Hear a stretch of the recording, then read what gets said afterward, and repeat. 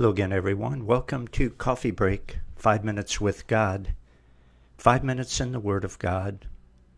Five minutes to taste and see that the Lord is good. My name is Michael Meurett, reading today from Matthew chapter 6, verse 3.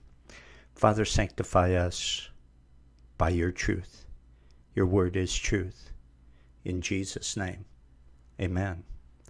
Jesus is speaking in Matthew chapter 6, verse 3 But when thou doest alms, let not thy left hand know what thy right hand doeth, that thine alms may be in secret.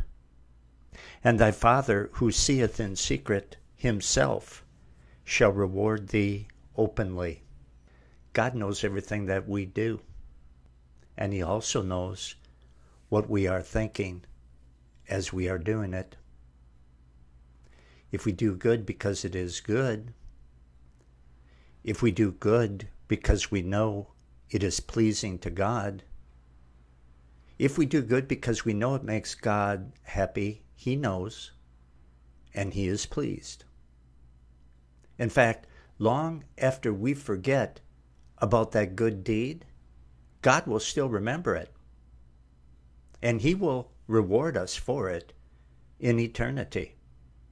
You know, sometimes I think we think about the judgment seat of Christ as Christians, where our life will be judged after we became Christians and will be either rewarded for good things that we do or lose rewards for bad things that we do and so on and so forth. And maybe maybe some of us tend to dwell on the negative part of that a little bit too much and forget the fact that God never forgets anything that we do.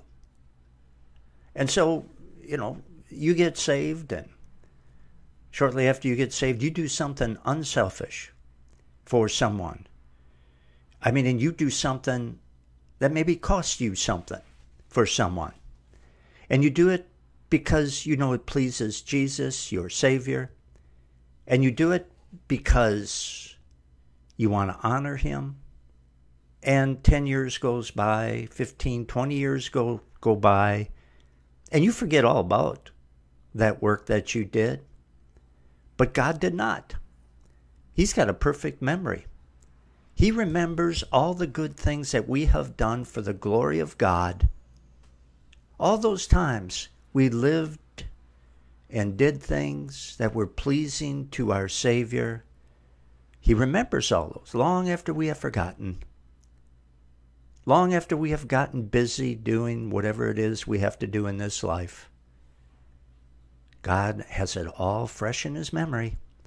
And come judgment day, he's going to reward us for those things. And I don't need a reward, just a just a friendly nod from God would be plenty for me, but you know, I think he's going to bring to our memory a lot of things that we've done that we had long ago forgotten that we did. God never forgets anything good that we do.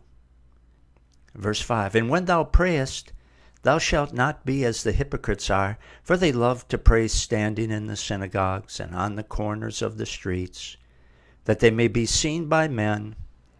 Verily I say unto you, they have their reward. You know, some people pray to be heard by others. Some people pray to have attention drawn to others or to themselves. They're not really even talking to God in their prayers. They're talking to people. They're talking to their audience.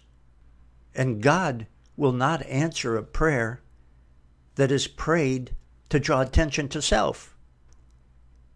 Anyone who tries to be eloquent in prayer in order to impress those who hear is wasting their time praying, obviously they're not talking to God. Obviously, they're not speaking to be heard by God. They're speaking to be heard by man. That's not directed to God. And just like God knows everything about everything else, He knows who you're talking to when you pray. He knows if you're talking to Him or trying to impress others. He's not going to answer a prayer like that because you weren't even talking to Him. Again, we see it's not just what we do, it's why we do it. That's important to God. For more of God's Word, go to thebibleversebyverse.com.